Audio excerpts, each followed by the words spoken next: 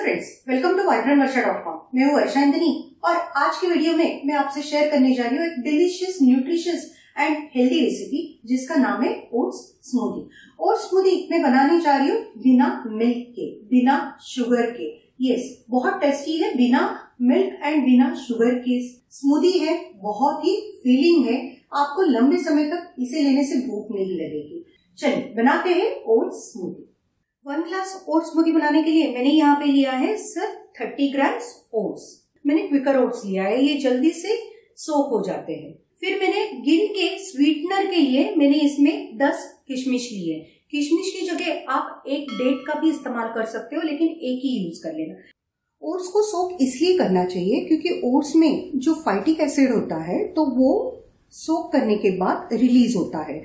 और उसके ओट्स के जो न्यूट्रिएंट्स हैं, वो बॉडी अच्छे से अब्जॉर्ब कर लेती है। इसीलिए ओट्स को सोक करके लीजिए या आप हमेशा ओट्स को रोस्ट करके लीजिए। मैंने यहाँ पे क्विकर ओट्स का इस्तेमाल किया है। आप रोल ओट्स का भी इस्तेमाल कर सकते हो। देखिए ओट्स हमारे कंप्लीटली फुल गए। फिर ये जो बैटर है, मैं मिक्सी में डाल रही हूँ और इसे हम ग्राइंड करेंगे। बट बिफोर दैट बहुत सारी चीज़ें हम इसमें डालेंगे, बहुत सारे इंग्रेडिएंट डालेंगे। इसमें मैं डाल रही हूँ थोड़ी सी दालचीनी। ये हमारे मेटाबॉलिक रेट को इंक्रीज करती है। ये कंप्लीटली ऑप्शनल है। इसमें मैं डाल रही हूँ होममेड पीनट बटर आप मेरी होममेड पीनट बटर की रेसिपी ज़रूर देखिए। मैंने आपके साथ डिस्क्रिप्शन बॉक्स में उसकी लिंक शेयर की है।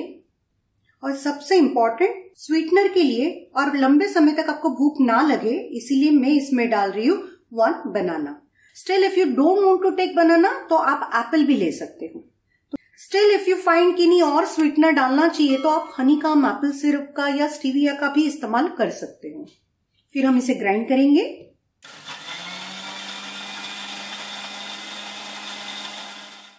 देखिए, हमारी thick delicious nutritious healthy oats smoothie ready है. जिसमें मैंने बिल्कुल भी मिल्क नहीं यूज़ किया है, ना मैंने शुगर यूज़ किया है। देखिए, ये one glass smoothie completely ready है। इसे मैं गार्निश कर रही हूँ आलमंड से। मैंने सिर्फ़ तीन बादाम लिए हैं। तो लीजिए, हमारी ओट स्मूदी रेडी है, जो मिनटों में बन जाती है। सिर्फ़ दस मिनट में ये ओट स्मूदी रेडी हो गई। तो देर इज़ नो एक्सक्यूज कि हमारे पास टाइम नहीं है। इसे आप पियोगे तो आपको लंबे समय तक भूख नहीं लगेगी। हेल्दी है न्यूट्रिशियस है डिलीशियस है, काफ़ी सारे वाइटामिन एंड प्रोटीन से भरपूर है तो आप इसे आपके ब्रेकफास्ट या लंच में या डिनर में इसे ले सकते हो। समर में आप इसे एंजॉय कर सकते हो आइस के साथ। तो कैसी लगी ये रेसिपी आप मुझे ज़रूर बताएँ।